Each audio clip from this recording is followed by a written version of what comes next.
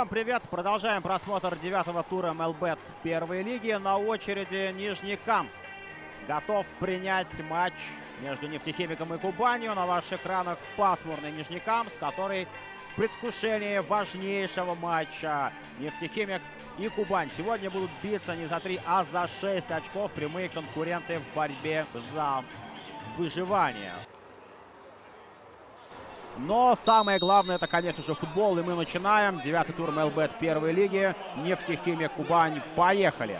Кубань практически всем составом обороняется. На этот раз решили разыграть. Петров. Красивая пятка оставляет Котова. Передача Денисов 1-0. Пятая минута. Роман Денисов открывает счет в матче после углового.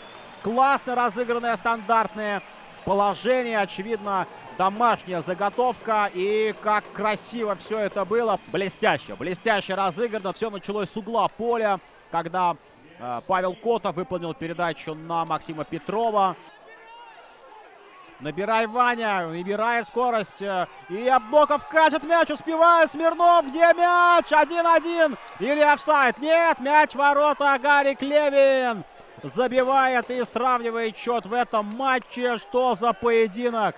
Только-только Шоркин мог забивать второй мяч и делать счет уже более крупным для нефтехимика. Но и тут же ответ от гостей. Контратака и передача Темникова. И Нури Абдоков не то катил мяч в ворота, не то выполнил передачу. Сидиков. Еще одна передача Джамилов. Как легко мяч в штрафную площадь проходит. Кокоев. Мяч не получил. Снова Джамилов. Его удар, подставление. Кочек не забивает. В этом моменте с линии вратарской оставалось просто покатить мяч мимо Юрия Нестеренко. Не получилось. Какие провалы у Кубани в обороне. Вот. Не самое удачное действие. Юрий Нестеренко ошибается. Дарит мяч сопернику. Кокоев. Кокоев сам бьет. И Нестеренко позицию не потерял на этот раз. Перевел мяч на угловой. Но так но пожарил Юрий Нестеренко. Он и сам прекрасно понимает, что, наверное, не лучшим образом мяч выбил. Петров. И снова через фланги пробует нефтехимик атаковать. А здесь уже Кокоев. Передача пяткой. Котов. Ближний угол 2-1. Павел Котов в первом тайме голевая передача. Во втором тайме забитый мяч.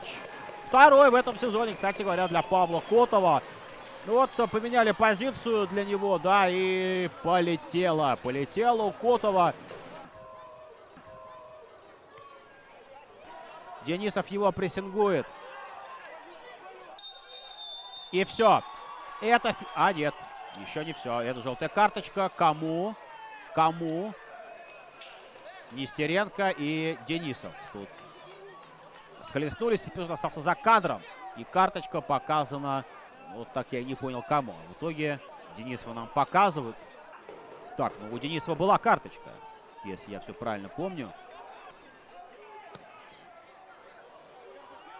Да, у Шоркина была карточка, но у Денисова четвертая желтая карточка и все. Это финальный свисток.